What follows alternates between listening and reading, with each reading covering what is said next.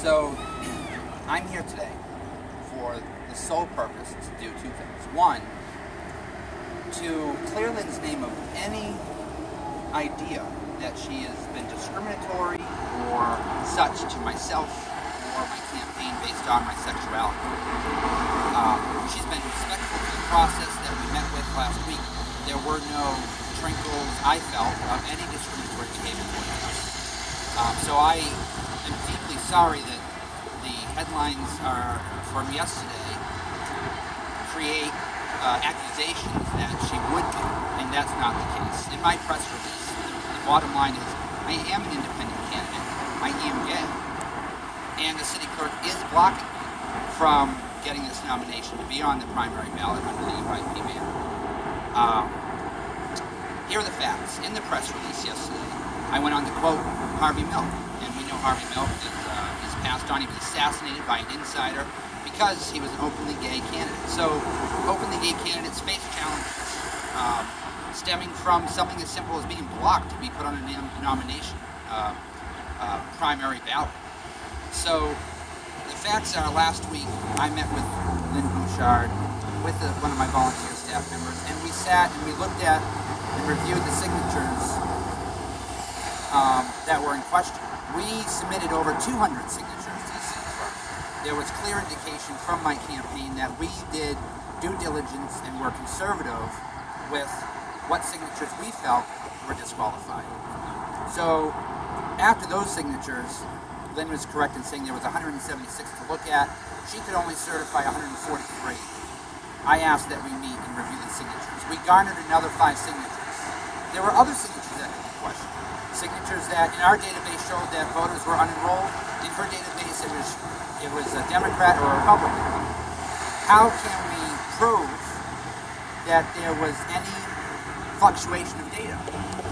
When we entered the meeting, I asked questions in regards to um, one, if a signature is not legible, can a voter next to it uh, print their name to assist in their intent in signing a paper? She said that is correct. One signature was of such, and she did approve them. The other thing was, she kept insisting that she just can't certify the two signatures that we were looking at. We could have created a buffer of more signatures, but in honesty and good faith, I couldn't decipher some of these signatures that were not legible. However, the two signatures in question that I did in uh, uh, on our letterhead and submitted to City Hall were two signatures that were legible. We know who the voters are. We have affidavits ready if needed to get this signed. It was Lynn that encouraged us to push forward with the writing campaign and that she would call uh, a meeting of the Board of Registrars and we would be notified of such meeting. We weren't. Um, I found through the Telegram's reporting last night that she had made a statement. She had brought the Board of Registrars in one by one to look at the signatures and see um, if they agree with her. By my understanding, two did and one did not. Well, we weren't part of this process. It was not an open meeting because under open meeting law, it is only required if three or more members meet to call for an open meeting. So that was a clear tactic, in my opinion. After Tuesday, we were told that she got a directive from the State Elections Division, Michelle Tassinari, that if she cannot certify the signatures, it stops there. And encourage, if we want, we can pursue potential court um, action or run a sticker campaign. Well, here are the facts about that. I'm going to pursue a sticker campaign, and here's why. This past fall, we saw a city employee run for um, school committee. And simply, you can't be a city employee running for a municipal office.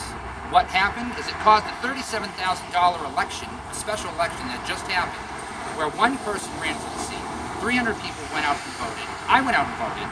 And at the end of the day, the taxpayers had to pay that because whether it being the mayor and this person in the fall running for such a position, they knew that they should not have ran.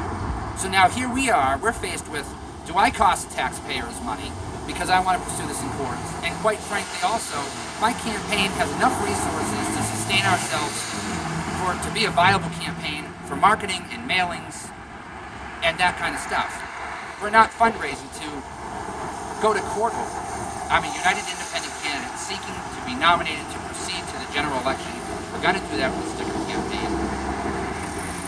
At the end of the day, this stinks.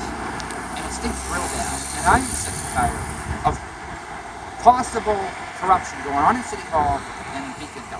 Someone in Boston is communicating to her, in my feeling, that she should not allow these signatures. If that's not the case, and she's purely not allowing those two signatures that could be allowed to get me to the 150 mark, that's also unethical. I don't agree with it. It's wrong. This is not a fair process. This is exactly what the people are sick of across from across this country. People are sick of this across the Commonwealth, and people are getting sick of the stuff in Leominster. Lynn has served this city as city clerk for decades. She has been a great public servant.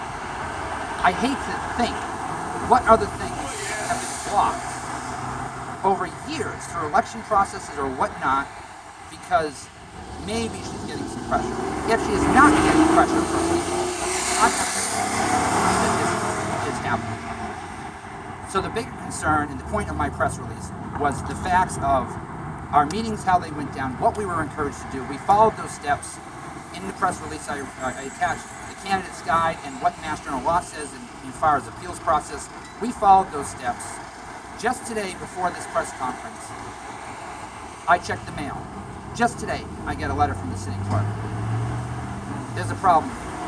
And yesterday, these board of registrars were called in one by one. I was not made aware of this. I was not present. I could have brought affidavits. Either way, I'm being stonewalled, and I don't like it. And people in this community need to know that regardless of how good you look or what you do or how long you've served, you got to do the right thing. My campaign has been transparent on anything that's been asked of us. If people in the public have questions, they can come to our office, they can call us, they can email us, I will meet with them, I will talk about whatever concerns they have. Today I'm focused on process is being messed with and it's affecting my nomination to be United Independent candidate. Quite frankly, I'm gonna I'm gonna forge forward with sticker campaign. We're gonna move on to the general election. With that said, effective immediately, I want to see Lynn Bouchard step down. She needs to submit her resignation to the mayor of the city, and the mayor needs to accept it. The assistant city clerk, or whatever their process should be, uh, uh, put in place to take over these responsibilities. I'm sorry, but clearly, no hesitation am I uh, with, without hesitation, will I say that Lynn is not a discriminatory person. At no point have I ever felt that she was. The bigger point here is we have an economy that needs to be growing. We have an education uh, system that has an inadequate funding formula that needs to be talked about and drafted. We do live in Massachusetts. It's not as liberal as it was yesterday or the year before. Conservatism is growing in Massachusetts. The state is becoming more and more purple. My campaign as a progressive campaign is being stonewalled. I don't like this. None of my staff likes this, or my volunteers, or my supporters, and my donors. They're tired of politics as usual. I agree with them. I'm tired of politics as usual. I'm not a usual politician. I'll be the first one to say there are many things in my life, personal and professional, that yes, I could have done better. Yes, we could have probably created a press release yesterday that did not acknowledge how people look at me as an independent. I could have chosen not to quote an icon from California who was assassinated by an insider because they did not want to openly gay candidate serving in office. I could have made those choices. Absolutely. In no way, shape, or form should it have been concluded that she, or I am saying she's discriminatory. Not whatsoever. But as I